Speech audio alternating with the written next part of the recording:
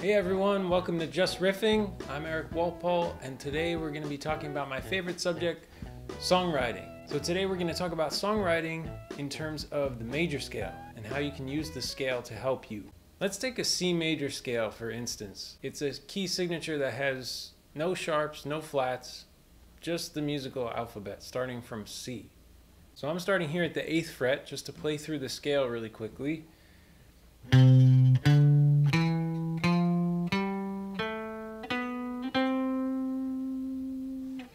That's a one octave C major scale, starting from C and ending on C. So if we go through that again and we name the notes that we just played, we have C, D, E, F, G, A, B, and then you're back to C again. So you can refer to each of those notes of the scale as their note name or their letter name, or you can also refer to them as their scale degrees, which means C would be 1, scale degree 1, D would be scale degree 2, E would be scale degree 3, F is 4, G 5, A 6, B 7, and then you're back to 1 at C again. So, how can this help you write songs? Well, there's a formula that you can use to build chords out of each note in the scale. Right now, we're going to build triads or three note chords out of each note in the scale. Okay, so if you start from C, we form the C major triad by going from C to E and then G. That's scale degrees 1, 3, and 5. So you're skipping 2 and 4, and you've got C, E, G, which makes up C major triad, which if you find those notes everywhere on the fretboard, that's a really great exercise to practice. And you can see that that triad is the core of the chords that you've probably been playing all your life, where you have regular C major chord in the open position, it's got C, E, G, and then another C and E on top of it to round it out. Same thing with the C major bar chord. You got C, G, C, E, and then G and C. And same thing up here. So, that's the C major triad, starting from C in the C major scale. And just a quick recap, we have C, E, and G. And how did we get that? We went from scale degrees 1 to 3 to 5. And if you play them together, you've got a C major triad which you could technically replace with any of the C major chords that you already know. And you can do the same for every single note within the major scale. So let's go through them really slowly. We already have C, E, G, which is 1, 3, 5.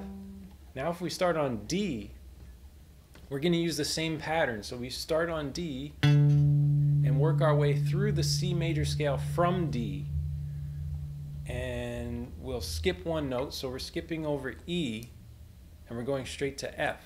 And then we're going to skip over G and go straight to A. So if you can hear that, you've got a minor triad there. So this is a D, made, D minor triad, excuse me. Again, you can find those in multiple areas on the neck really great exercise. And you can use your normal open position D minor, bar chords to substitute for the triad. If you keep going through the C major scale in this way, you'll find that each note has its own particular quality of triad. So, if you start on C and build a triad from there, you have a major triad. If you start on D and build a triad from there, you've got the D minor quality triad. And then if you start on E, it's going to be another minor triad. And remember, just the formula is to just play one of the notes of the scale and then skip one as you go down the scale and go to the next one. And then skip one and go to the next one.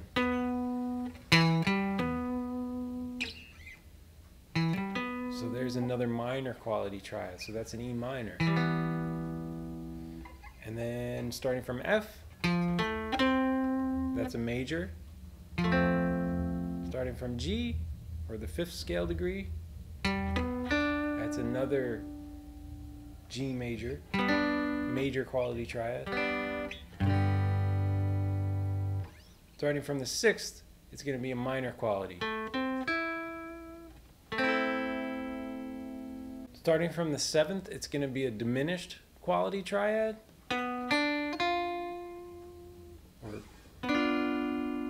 So that's B diminished.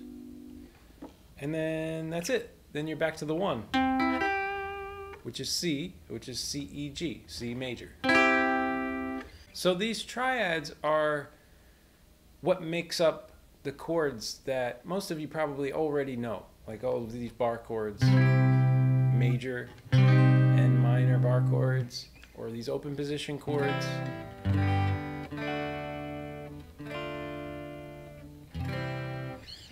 So, what I'm suggesting here is that you can take each of the chords we just went through, or each of the triads we just went through, from the C major scale, and use them in your own particular progression.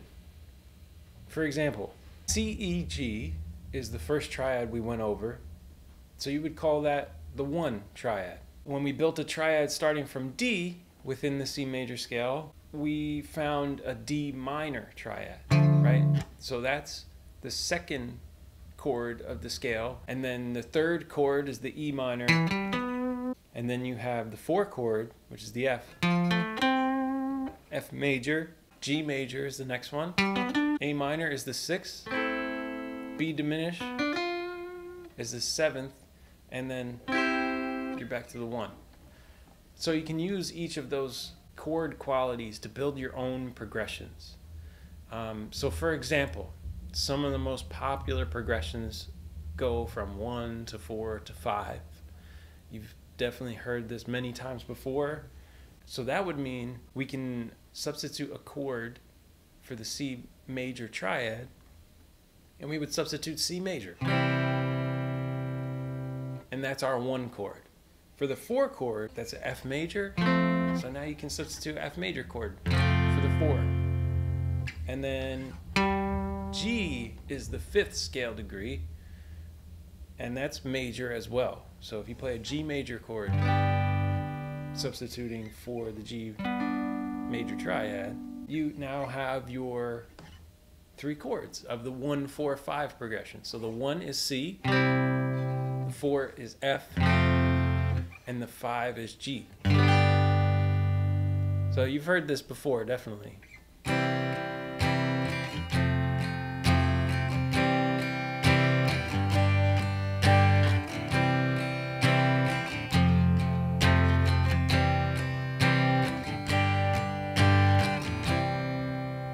Or maybe in a blues context, you've heard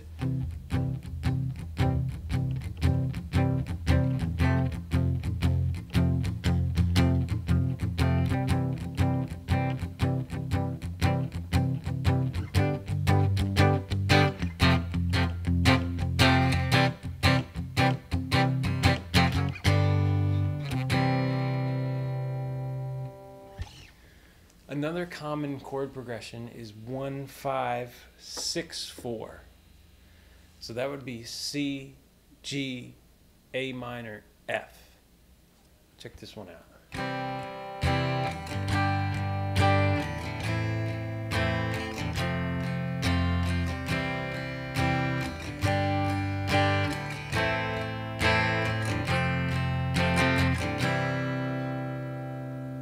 Another example is 251. The 2 is minor and the 5 and 1 are major. So in the context of C major, you have a D minor, a G major, and then a C major. So you have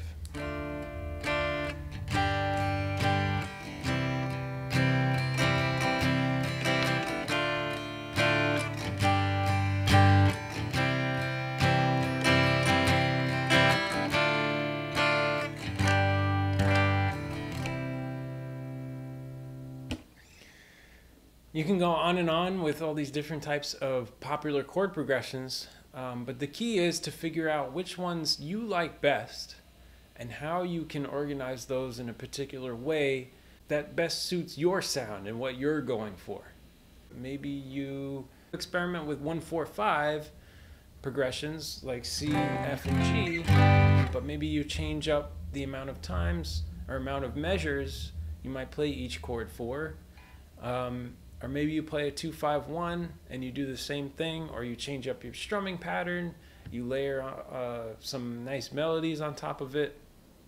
You can do all sorts of things to um, create something new. You can also combine popular chord progressions. Like you can take the one five six four and combine that with the one five four, and you can have this longer progression, and that's actually the progression for the Beatles tune "Let It Be."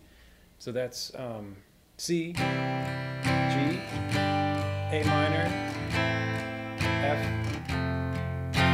C, G, and then F. And back to the one. So you can do any number of things with these chord progressions. The main thing is to understand this theory so that, you know, maybe you're not using this method all the time, but if you're in a, a spot where you're having trouble coming up with something new and you know your keys, you know your key signatures, you know the notes within that scale of that key, and you know your triads and you know the quality of those triads within that scale, you can come up with something really nice. So, I hope you enjoyed this little tutorial on how to write songs by using the major scale, and I hope it helps. So, I hope you have a good day, and I'll see you next time on Just Riffing. Thanks for watching, and please subscribe if you like this video. Take care, everyone.